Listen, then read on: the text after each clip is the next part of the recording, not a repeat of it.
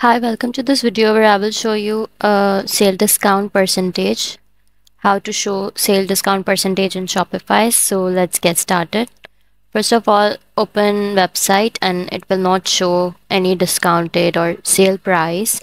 So for that, open your Shopify dashboard after logging into your Shopify store. And now from the uh, left menu bar, click on the online store button and then click on the themes button.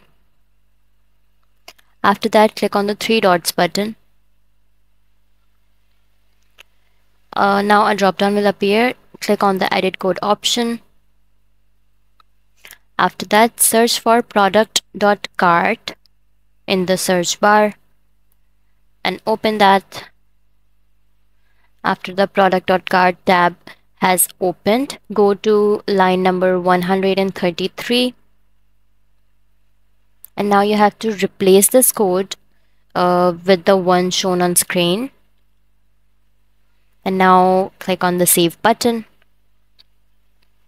After clicking save uh, again open the website refresh it and here you will see the sale price. So that's how you will show sale discount percentage in Shopify. That's all for this video if you find this video helpful, please like and subscribe to our channel and thank you for watching.